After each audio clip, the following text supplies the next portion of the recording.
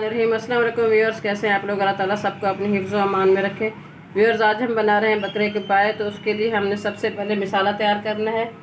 Five table spoon oil को हमने गर्म कर लिया और दो मीडियम साइज़ प्याज हैं, बरीक चॉप कर लिया इनको हम लाइट ब्राउन करेंगे। बसमिल्लाम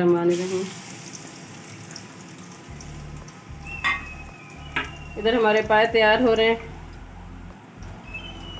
पहले हमने जिस तरह इनको धो लिया था, इनको ब्लांच कर लिया था।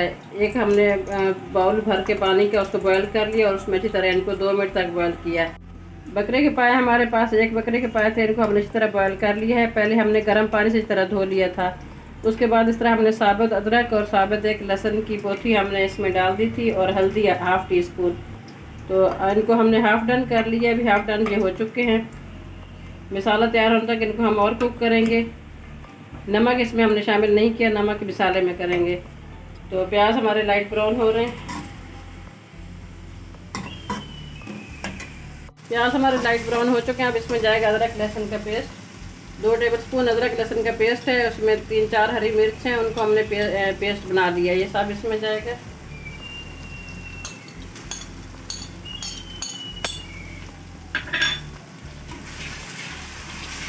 एक इंच का टुकड़ा अदरक का था। टुकड़ा।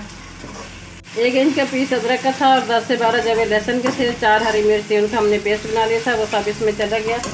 अब इसमें जाएँगे मसाले। नमक हंसबे जायका है गरम मसाला, एक टीस्पून है। और कश्मीरी लाल मिर्च वन टेबल स्पून है। धनिया हमारे पास एक टेबल स्पून है और ज़ीरा पाउडर हमारे पास एक टीस्पून है। और एक टेबल स्पून भर के हमारे पास लाल मिर्च है। ये सब इसमें जाएगा।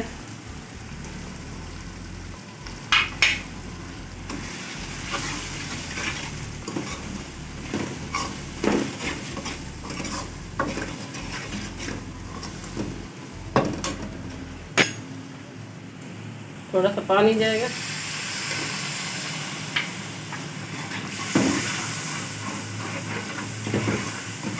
बहुत ज़बरदस्त, माशाल्लाह, इसका मसाला तैयार है, अब इसमें दही जाएगी।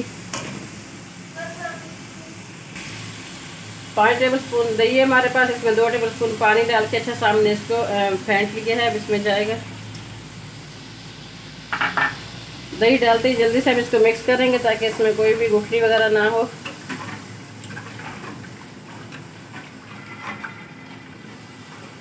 अगर इसको जल्दी से मिक्स ना की जाए, दही फट जाता है और बिल्कुल भी सालन में अच्छा नहीं लगता।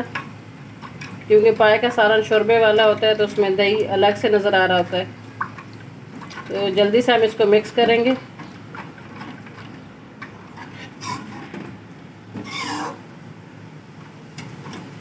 चार से पाँच मिनट इसकी बुनाई करते हैं, मिसाले और दही की। इसके बाद हम इसमें पाए शामिल करेंगे।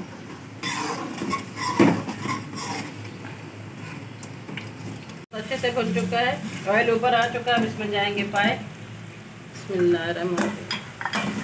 सेवेंटी परसेंट ये पाए डन हो चुके हैं अब इसको अच्छे से भुनाई करते हैं।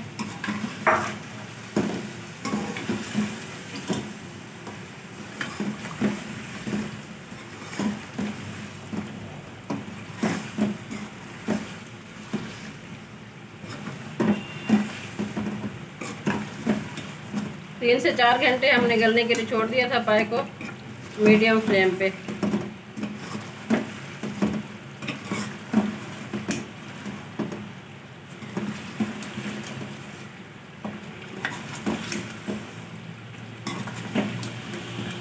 पतीले में हमने इसमें कुक किया था पाए को। पतीले में अगर आप पाए कुक करते हैं तो बहुत अच्छे वो तैयार होते हैं। कुकर के नस्बत, अगर कुकर में किए जाए तो हाफ़ आधे घंटे में तैयार हो जाते हैं, लेकिन जो तीन चार घंटे में पक कर तैयार होते हैं, उनका टेस्ट बिल्कुल चेंज होता है।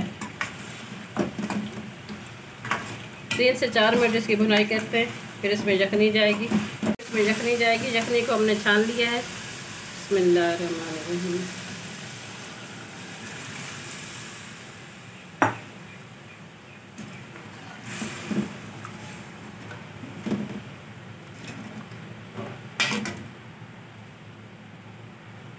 थोड़ा सा पानी जाएगा इसमें।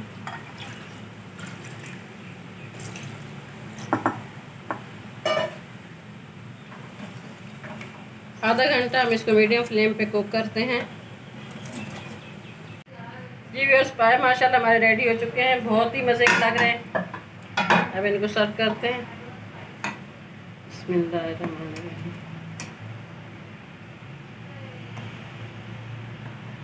बहुत अच्छे से कुक हो चुके हैं, माशाल्लाह।